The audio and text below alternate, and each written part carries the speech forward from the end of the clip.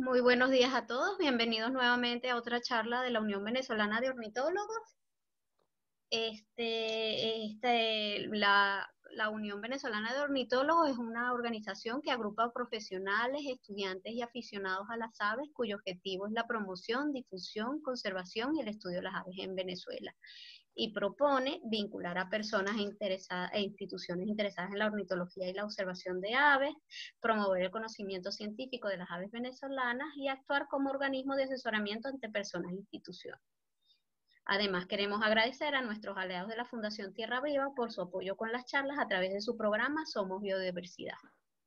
Por favor, agradezco a todas las personas que apaguen sus videos y sus y sus micrófonos para que la, comunicación sea más fácil y podamos este, eh, avanzar. Hoy es un gran honor presentar a, a, Mauricio Zanoletti. Él es ingeniero industrial de la UCAP y director de empresas. Es observador de aves y miembro de la Sociedad Conservacionista Audubon de Venezuela desde el 2004 y fue presidente de Audubon desde el 2016, a partir del 2016 hasta el septiembre del 2020. Y hasta, actualmente es vocal de la Junta Directiva de Audubon. Bienvenido Mauricio, pon, si quieres pon tu, tu, tu primera lámina. Gracias, gracias Sandrita. Eh, queremos agradecer a la Unión Venezolana de Ornitólogos la oportunidad de presentar a todos eh, nuestro programa Las aves entran en las escuelas, particularmente satisfactorio para la sociedad por el alcance y el impacto que tienen las comunidades educativas. Eh, ¿Quién es Audubon de Venezuela? Una ONG sin fines de lucro que se fundó en 1970 por personas amantes de la naturaleza interesadas en conocer y proteger las aves y sus hábitats en Venezuela.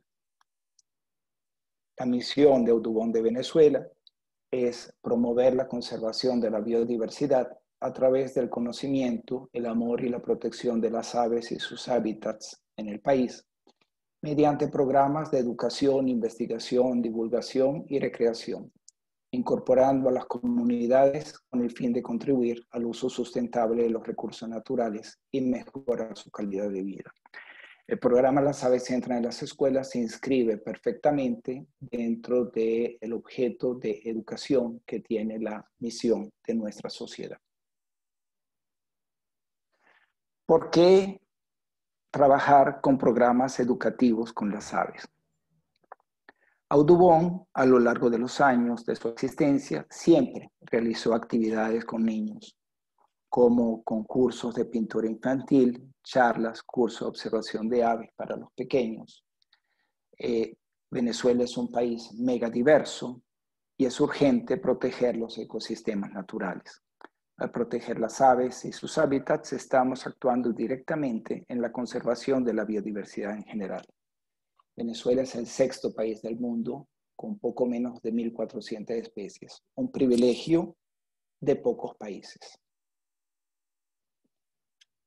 El programa Las aves entran en las escuelas imparte talleres de eficacia comprobada a docentes de escuelas, dotándolos de los conocimientos básicos de las aves y su importancia ecológica, y desarrollando la creatividad para lograr la receptividad del público infantil a través de la simpatía que generan las aves en los niños y los jóvenes. El programa Las aves entran en las escuelas nace en 2006 con la finalidad de capacitar a docentes, los cuales pueden alcanzar un gran número de niños, con la premisa de que para proteger hay que amar y para amar hay que conocer. El programa en sus, primeras, eh, en sus primeros tiempos tuvo un formato, por eso lo llamamos de eh, primera etapa. La primera etapa eh, se dictaban talleres a 20 docentes provenientes de 10 escuelas, generalmente en zonas rurales o escuelas públicas. De 2006 a 2015 se han capacitado 1.135 docentes de 220 escuelas, beneficiando a su vez a 48.222 estudiantes de educación primaria. Cuando se establece el Día del AVE, también hay muchos más docentes que participan y crece la demanda de los talleres.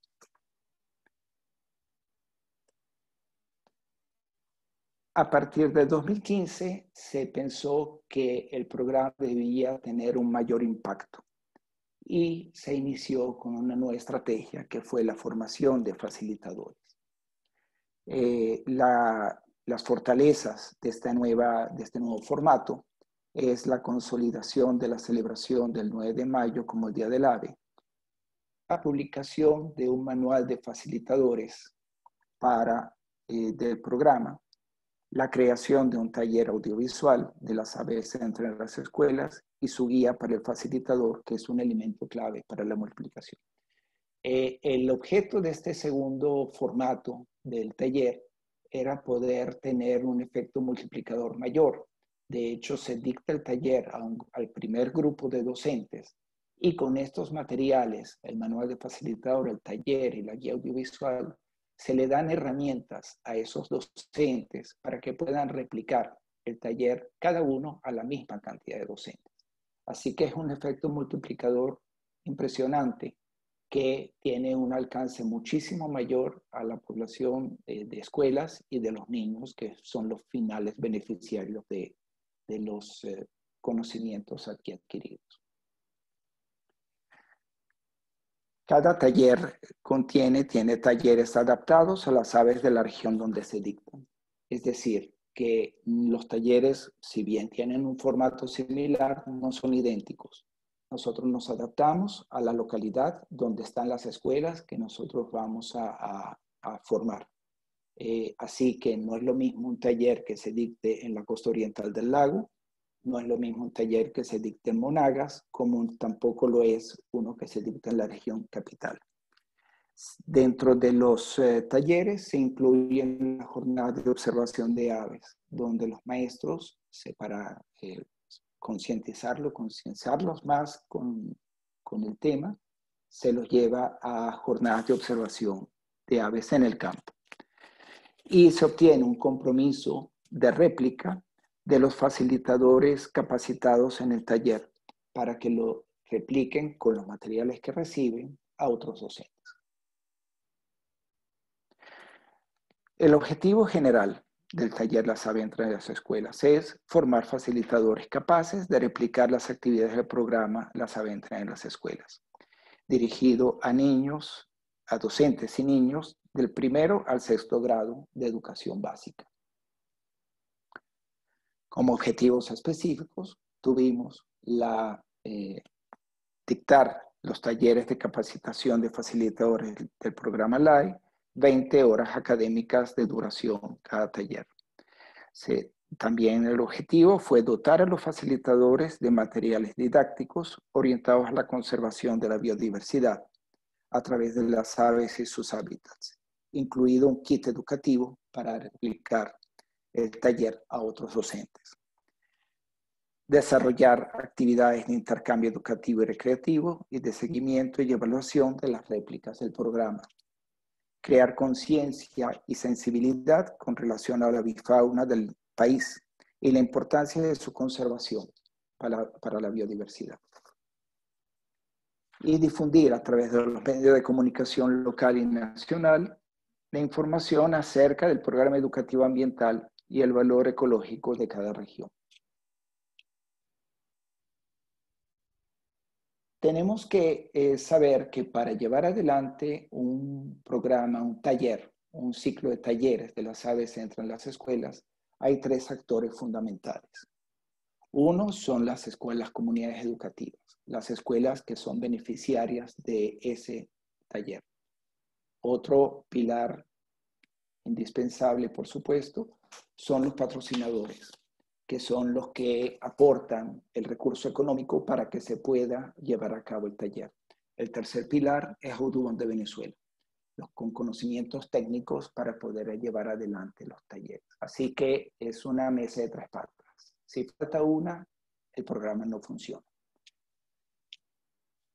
Entonces, con la metodología tenemos, una vez que tengamos eh, eh, ya las tres patas de la mesa bien, bien firmes, tenemos una selección de escuelas y docentes. Se hace dependiendo de la región, se hizo la selección de las escuelas y después se conforma un equipo de coordinador y de planificación del trabajo entre representantes de esas comunidades educativas y Audubon para llevar adelante bien el trabajo. La, viene un, supuesto, un tema de logística para la adquisición de equipos y materiales y la producción de materiales impresos, la producción de los materiales audiovisuales para los futuros facilitadores, el dictado en aula propiamente de los talleres en la escuela seleccionada. Eh, las talleres se dictan en una escuela y los, y los docentes que puedan ser de escuelas aledañas se trasladan a esa escuela para recibir el taller. Luego se llevan el kit y los conocimientos para poder replicar en su propia escuela o en otras aledañas a ellos. Y eh, finalmente se entregan los kits educativos y certificados de asistencia a los participantes del taller. Eh, luego, al terminar todo esto, y, como tenemos que talleres eh, replicados por los docentes, hay que hacer un seguimiento al alcance del taller inicial y a las réplicas que se hayan producido. Hay una evaluación del programa ELAE por parte de equipos interdisciplinarios e interinstitucionales también se planifica la celebración del Día del Ave, intercambio de experiencias entre docentes y niños participantes en el programa LAE. Eh, la, la, fase de difusión no es menos importante y asesora a los facilitadores formados para que difundan el éxito del programa. El audiovisual. El audiovisual, producirlo fue un trabajo bien interesante y bien gratificante y enriquecedor. Y eh, este audiovisual tiene distintos capítulos. El capítulo 1 habla de Venezuela, de nuestro país como un país megadiverso, que es la diversidad biológica y sus formas, la diversidad de los ecosistemas del país, en el taller, los docentes realizan juegos para que luego con la creatividad los amplíen a recursos lúdicos con los niños. En el capítulo 2 se habla de las aves, ya que es el objeto, de, que es el, el elemento alrededor del cual giran los talleres. Las aves, seres emplumados. El rol de las aves en el ambiente. El rol ecológico, como control de plagas, polinización, dispersión de semillas. Son ellas mismas alimento para depredadores, conservando la cadena trófica. Eh, el elemento cultural, siempre las aves en todas las culturas, creemos que no hay una cultura donde no tenga influencia de las aves. Eh, ellas tienen su importancia cultural. Y la importancia económica de las aves, que está representada básicamente por el turismo de observación de aves, que es una manera de turismo sustentable. Se habla en este capítulo también como de las aves un abrigo de plumas, se les llama. Se exhiben diferentes tipos y tamaños de pluma a través de una experiencia directa, donde los docentes participan activamente, se explican las funciones de cada tipo de ella y los elementos básicos del vuelo. En el tercer capítulo se habla de la magia de la observación de aves. Observación de aves ya como una actividad placentera. Se visualiza la actividad de la observación de aves como una estrategia de conservación. La idea es aprender las pistas más elementales para observar y aprender a identificarlas, ubicarlas, buscar las diferencias de tamaños, de formas, colores en las partes de su cuerpo aprender a ver los patrones, motas, rayas de manera divertida, que sea divertido para los niños. La experiencia ha sido bien chévere, muy buena. Capítulo cuarto, por las aves libres y protegidas. Se habla de las aves endémicas y las aves amenazadas. Las principales amenazas por las aves. Una manera de crear conciencia de que las aves tienen que estar libres. Eh, se habla de la destrucción de los hábitats y la venta de aves como mascota como una amenaza importante. Se estimula la valoración de las aves en libertad y no en cautividad. Las, los comederos como una alternativa para acercarnos a las aves. Además, se estimula a disfrutar a las aves en libertad. Capítulo 5 es la celebración del Día Mundial de las Aves. La celebración es esencial, es una parte fundamental del programa Las Aves Entran en las escuelas para lograr un carácter permanente. Cada 9 de mayo se celebra junto con las escuelas el Día del Ave. Crece el número de unidades educativas que participan. Se motiva a los estudiantes a crear, dibujar, pintar, jugar, cantar, bailar al son de la conservación y la protección de las aves. Es una ocasión para rechazo rotundo a las jaulas y la promoción de los comederos. El último capítulo, el capítulo sexto, es para el docente, el docente como promotor. El docente es una guía del programa, llevándolo a otros docentes, estudiantes y a toda la comunidad educativa. Así, como resultados, en cada taller tenemos 20 docentes capacitados y certificados como facilitadores. Son capaces de replicar los talleres del programa con otros docentes y contribuir a la formación de los niños. Esto, le da un carácter explosivo a la difusión del programa y a la difusión del mensaje conservacionista. A los docentes se les dota cada quien de un kit educativo con los materiales para apoyar su trabajo pedagógico como agentes multiplicadores en el tema de conservación de aves y sus hábitats. La introducción a la actividad de conservación ambiental, así como un estudio y observación de aves la población escolar en la población escolar de primero a sexto grado de educación básica.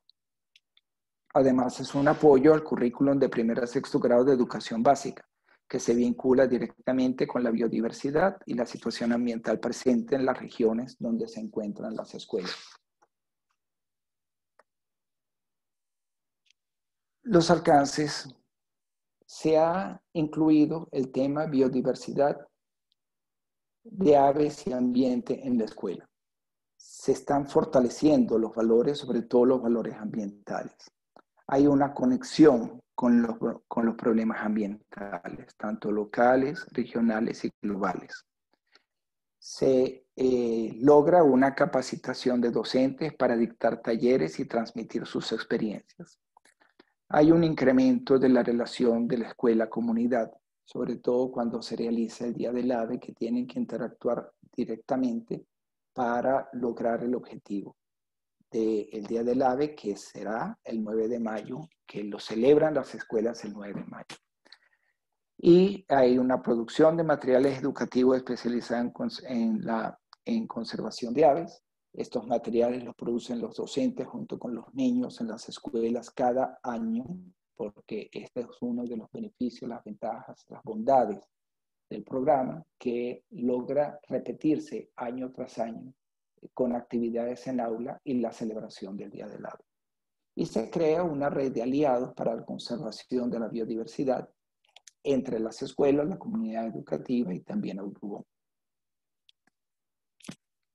Eh, a continuación, del 2006 al 2020 se han logrado, en, todos los años que tiene de vigencia el programa, se han logrado 1.295 docentes que han participado. Esto ya con los docentes replicados. Las escuelas participantes han sido 235. Se ha, se ha alcanzado una población de 71 de más de 71 mil niños y se han instituido el Día del Ave, 9 de mayo, festivales de teatros, avetones infantiles, juegos ecológicos sobre aves, entre otras cosas, porque eh, los maestros y los niños tienen mucha fantasía y, siempre están generando información y actividades nuevas. Eh, algunos, algunas imágenes, tenemos la preparación del material previo, donde también, como se ve, está la colección de plumas que se lleva a los talleres para poder indicar la función de cada una a los eh, maestros. Eh, eh, la teoría se dicta, como dijimos, en las mismas escuelas, en aula y a través de actividades dinámicas, interactivas entre los técnicos de Audubon y los maestros. hay juegos, aquí se ve, por ejemplo, uno que es Adivina quién, pero con aves, en el que se le pone, se le eh, un maestro trata de describir un ave y el otro, a través de una lámina con distintas eh, alternativas, tiene que identificar el ave de acuerdo a la descripción que le da su compañero. También en la, otra fotografía se ve la representación de un ecosistema viviente. Son, son cosas que, que parecen pequeñas, pero generan mucha empatía, mucha, mucha eh, se, divierten los maestros en estas actividades y esto genera que puedan luego replicarlas y repetirlas con los niños y los otros maestros a quienes van a replicar los talleres. Eh, durante el Día del Ave hay muchas manifestaciones, disfraces, pancartas, abetones que se generan, concursos de disfraces, eh,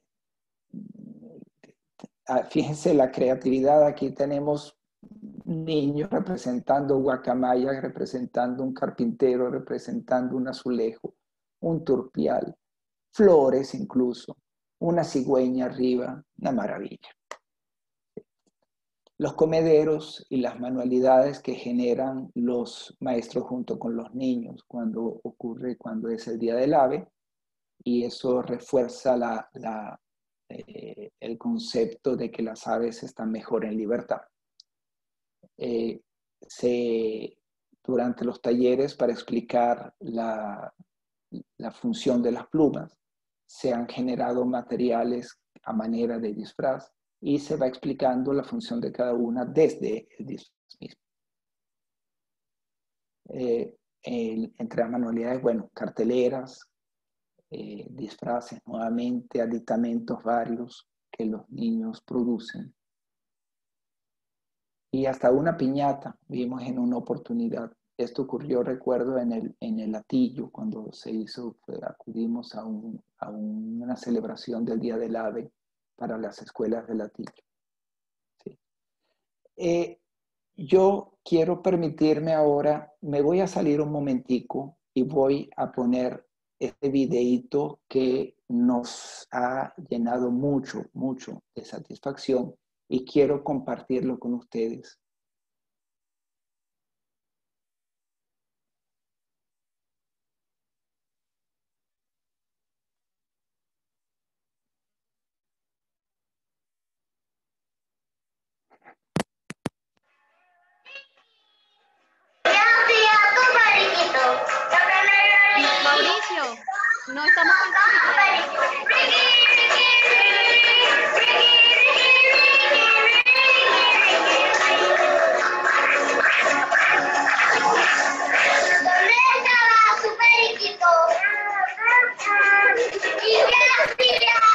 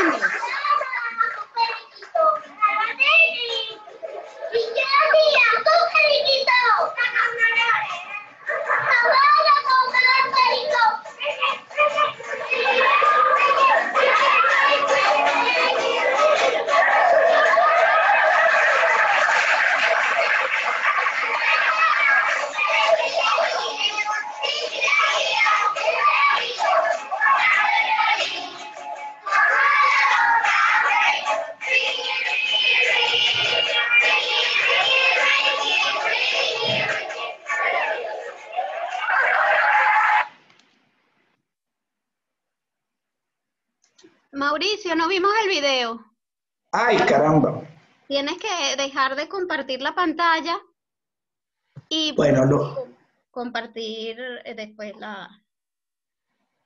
Ajá, ahora Vuelve a compartir el video.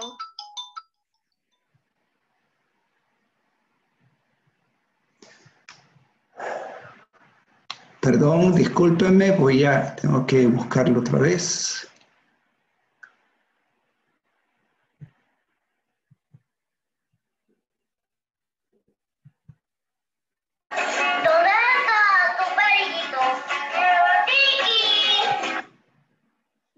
Mauricio. Voy.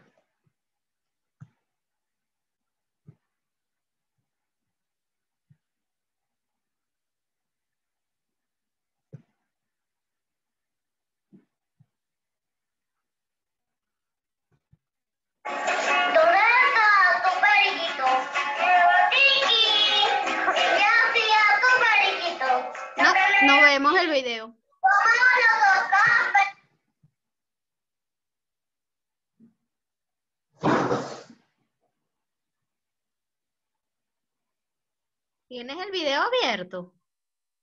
Sí.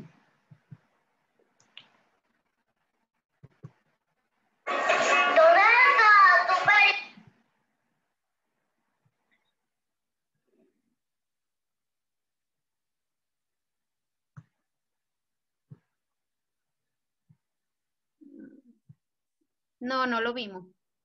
No lo veo. Bueno, discúlpenme. Eh, me enredé. Me enredé. Este, bueno, de todas maneras, este video eh, lo, lo, lo, siento mucho porque era muy lindo, este, pero en todo caso está en el canal de YouTube de Audubon Venezuela, que lo ven allí. Y eh, bueno, esto Queremos agradecer, queremos agradecer a los patrocinantes y colaboradores de Audubon, que a través de ellos logramos hacer nuestros eh, programas de educación y conservación. Eh, Mauricio, se te oye muy bajo. Ponte el micrófono más cerca. Sí, estoy hablando igualito. ¿Me oyen ahora? Muy bajito, no sé qué pasó. ¿Ahora cómo me oye? Ahora sí, ahora sí. Ah. Bueno, este, eh, nada, el hecho es que eh, decía que agradecer a los patrocinantes y colaboradores que nos han permitido llevar adelante nuestro programa de educación y todos nuestros planes de conservación. Y eh, Audubon de Venezuela está abierto a cualquier persona que quiera acompañarnos a promover el conocimiento del amor y la conservación de las aves. Nuevamente agradecemos a la Unión Venezolana de Ornitólogos para, por habernos permitido este espacio para difundir una de nuestras actividades eh, con, con alcance a la comunidad.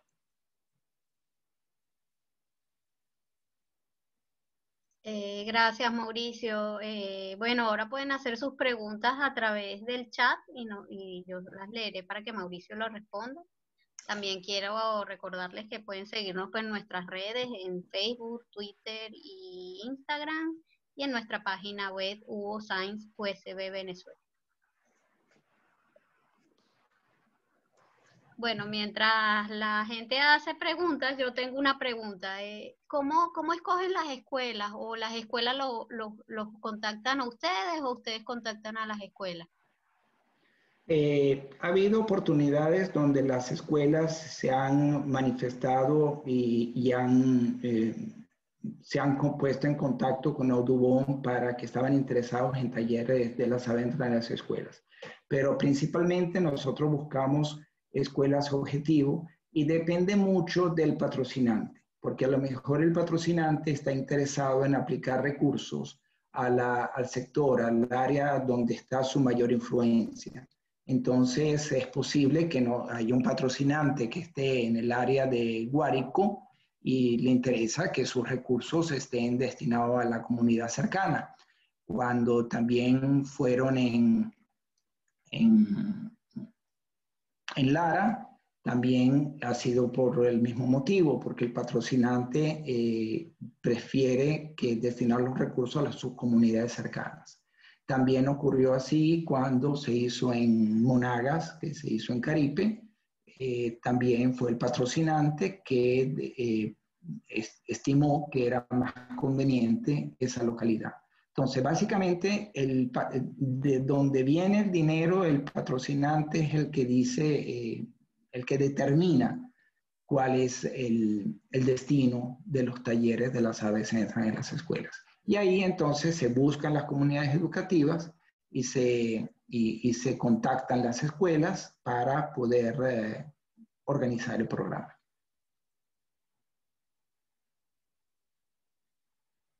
Chévere, ahorita sí tenemos preguntas. Verónica te pregunta. ¿Hay un mínimo de personas o instituciones requeridos para solicitar un taller live? Eh, nosotros, eh, como el taller está dirigido a 20 docentes, está diseñado para, eh, para 20 docentes, estamos buscando mm, prácticamente de alcanzar esa cantidad. Lo ideal es que sean de distintas escuelas. De hecho, lo, lo ideal es que sea de 10 escuelas y dos docentes cada escuela, siempre de comunidades eh, cercanas a, a donde se va a dictar el taller. Pero está diseñado para 20 docentes. No es un número mínimo, pero es un número de diseño. Puede ser un poco menos, puede ser un poco más, pero ese es el estándar para el que está diseñado el taller. Chévere. Virginia Sanz pregunta, excelente iniciativa, espero que puedan mantener por muchos años más. Quisiera saber la cobertura geográfica que ha tenido el programa. ¿A cuántos estados han llegado? Hemos llegado a, como dije, a Guárico, hemos llegado a Lara, hemos llegado a Monagas, hemos llegado a la región capital, hemos llegado a Zulia, eh, hay muchos estados por cubrir todavía, pero hemos llegado a varias comunidades en el interior del país. Luis Morales eh, comenta, felicitaciones, excelente charla y con una fantástica iniciativa de Udubon. ¿Cómo ha sido la respuesta de las autoridades educativas como las zonas educativas? ¿Trabajan más con escuelas públicas o con privadas? Eh, sea, las, las, comunidades educativas se motivan mucho, ¿no? Son, son muy proactivas. Y básicamente con, comunidad, con escuelas públicas, ¿no? Eventualmente se invita a algún docente de alguna escuela privada, pero esto es un programa que está dirigido para las, a las escuelas públicas, que además eh, también un patrocinante está más dispuesto a, hacer el patrocinio para escuelas públicas antes que para escuelas privadas. Está dirigido más que todo, sobre todo, a escuelas públicas. Eh, Marieta hizo un comentario, voy a abrirle el micrófono, Marieta, para que lo digas en, en voz alta, déjame buscarte.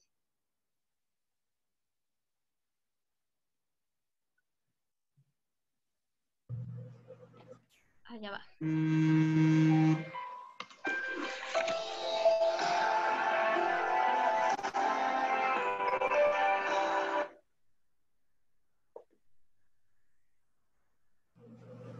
Ah, Marieta, voy a ver si puedes abrir el micrófono.